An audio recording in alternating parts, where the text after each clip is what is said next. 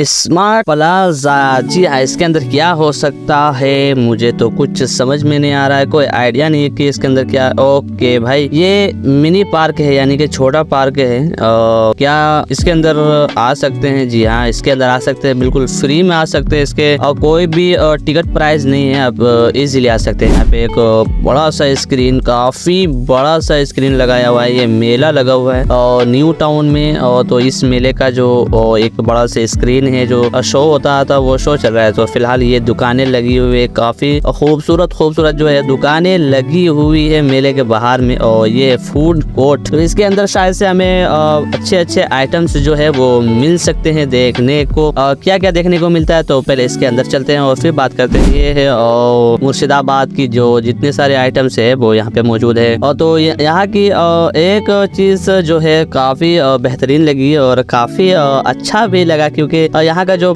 Price है जो other जगह से जहाँ पे हमें अगर कहीं पे कुछ और सामान लेना पड़ता है तो वहाँ पे उस उसकी चीज़ लगभग टेन रुपीज़ है तो यहाँ पे वो चीज़ और फिफ्टीन रुपीज़ या फिर ट्वेंटी रुपीज़ की हो जाती है। यानी कि उसके प्राइस जो है वो थोड़ा सा ज़्यादा हो जाता है। और यहाँ पे सिलीगुड़ी की जो है जो आइटम्स है वो यहाँ पे मौजूद है। यहाँ पे ये आइटम की लिस्ट है। और मुझे बंगाली पढ़ना नहीं आता है लेकिन आप इसे रोक के पढ़ सकते हैं इजीली अच्छा लगेगा। तो इतना कुछ खास लगा नहीं और जो दुकानें हैं वो भीड़ ज़्यादा थी नहीं दुकानों में और ये चीज़ एक यूनिक है, ये गाँव में हुआ करता था, ये लकड़ी का एक मशीन है और जिसे कूट कूट के इसका चावल का जो चूर किया जाता है, चावल को और चूरा, और जो है वो बनाया जाता है, आटे बनाया जाता है इसको कूट कूट के। काफ़ी बेहतरीन चीज़ है और इसके आटे का एक चीज़ बनता है छिलका जिसको बोला जाता है। वो जो होता है ढोसा होता है, बिल्कुल उसी टाइप में ये बनता है इस आटे से और तरह तरह की चीज़ें बनती है। और ये चीज़ थोड़ा सा हमको यूनिक लगा। बाकी यहाँ पे दुकानें तो ढेर सारी लगी हुई है और सारे दुकानों की स्टॉल यहाँ पे नाम दी गई है सारे दुकानों की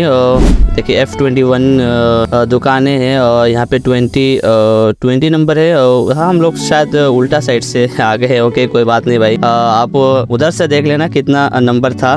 फ़िलहाल के लिए आगे चलते हैं। देखिए यहाँ पे रेट काफ़ी ज़्यादा है भाई। अस्सी रुपये अस्सी रुपये और नब्बे रुपये। और काफ़ी ज़्यादा प्राइस इसकी है और इसका जो हॉल जो पंडाल जो लगा हुआ था वो काफ़ी बड़ा था और काफ़ी खूबसूरत भी यहाँ पे देखिए लोग सामान लेके थोड़ा थोड़ा सा लेके अपना टेबल में बैठ के खा रहे हैं इंजॉय कर रहे हैं। भाई, जिसके पास पैसा है, उसके पास क्या कुछ नहीं, हो सकता है अगर वो चाहे तो। काफ़ी खूबसूरत और काफ़ी बेहतरीन नज़ारा यहाँ का, और मौसम भी काफ़ी बेहतरीन था। हल्का ठंडा था मौसम, रात का वक्त है और शाम का वक्त में काफ़ी बेहतरीन, और हमारे पीछे अमानत। भाई, अमानत को लेके जाना पड़ता था हर जगह, क्योंकि अकेले जाना बोरिंग लगता था, क्योंकि अकेले घूमने से सही नहीं लगता। देखे, अमानत का नुकसान। सो, फ़िलहाल यहाँ का ख़त्म हो चुका है और यहाँ का टूर और हम सीधा चलेंगे नेक्स्ट पार्ट में मेला चलेंगे। तो चैनल को सब्सक्राइब ज़रूर करना, वीडियो को लाइक ज़रूर करना इसे और वीडियोस के लिए। और आगे देखने के लिए भाई, चैनल को सब्सक्राइब ज़रूर करना भाई।